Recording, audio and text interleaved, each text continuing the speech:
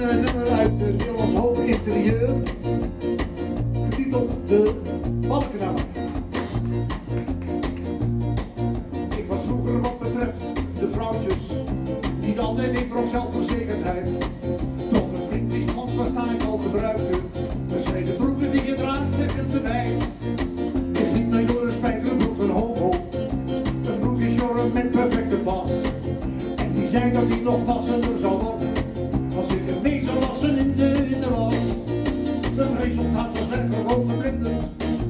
Was op was gebleken broek zag. Nou, maar moet die in de witte was haar reus deed. Vroeg hoe komt die witte reus zo blauw?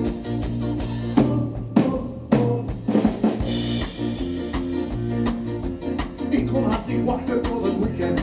Daar ging mijn broek, de sleutel tot de min. Zaterdag zou ik erin uitgaan. Ik moest er stond in mijn slipje. Met vaseline op de dijkjes voor de glij. Ik hield mijn rechterbeen meteen de rechterpijp op. Maar bleef wel steken met mijn enkel bij de dij. Denken aan de te versierde schoonheid.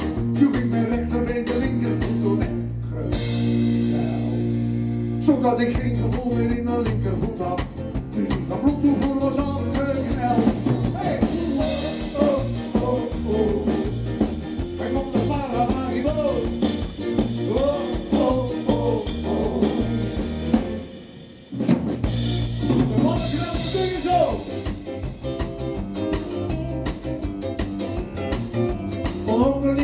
te krijgen, moest ik even met dat voetje van de vloer. Ik trapte zo op één been steppend, op een vergeten losgas van mijn broer. Toen ook mijn linkervoet zonder gevoel en bloed zat, hoorde ik de stemmen van mijn vrienden buitenal. In paniek dacht ik van laat ik nu mijn scrotum, naar links en rechts op aan elke kant de bal. Ik dacht dat stond ik laat het onbeslissen, zoals ik Het allemaal achterin naar boven.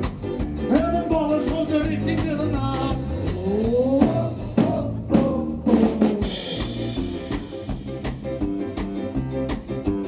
Nu moest ik nog even in het schoensel. Maar helaas, de schoenlepel was zoek. Dus er voorover om te helpen met mijn vinger. Er stond in één klap in mijn onderbroek.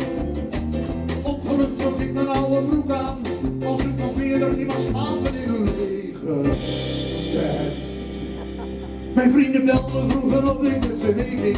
Vanavond niet zeg ik ben in